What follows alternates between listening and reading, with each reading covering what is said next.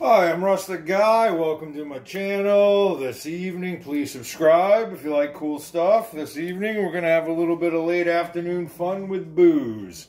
And I am going for a specific color, and I'm hoping the flavor will be there as well. I have no idea what's going to happen, and I don't know if it's going to be any good or not. So we're going to take some coconut rum cream. I don't know about that much. We're going to take a little bit of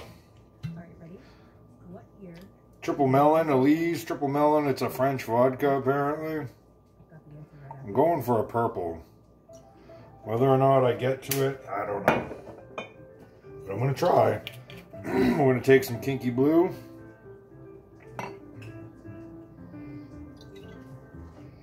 Well, that's pretty cool.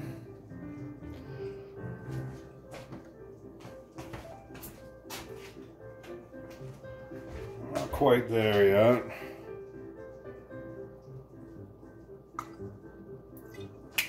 Actually, look at that. It's looking almost like cotton candy. Oh, I'm cooking dinner too. Look at that. I don't know. This is looking interesting here. We're also going to take uh, a little bit of cream creme de violet. This is the purple. This is, uh, I don't know, it's looking funky.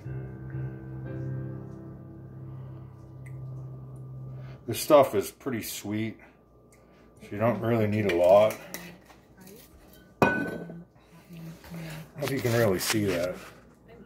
See what's going on. Look at the top. That's pretty funky. Call that funky. I'm going to mix it all up in the shaker here in just a second. Look at that. That is pretty cool colors, though, I got to admit. Funky. Maybe call this the funky.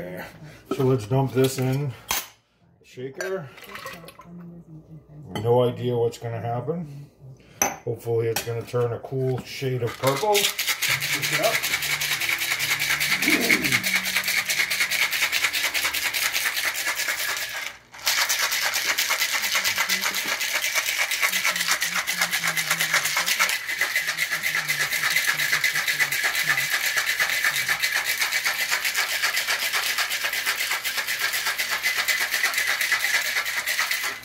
Not sure. look at that. See?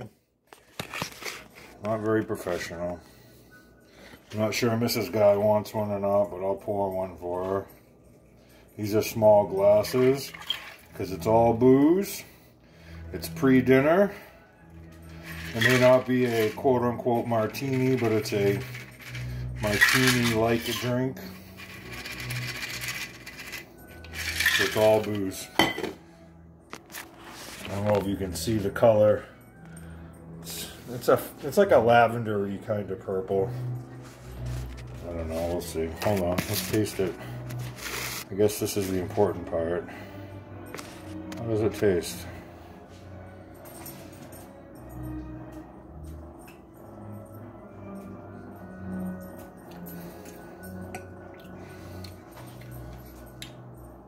It's really not bad. It's a little it's a little sweet. It's a little sweet and tart at the same time, if that's possible.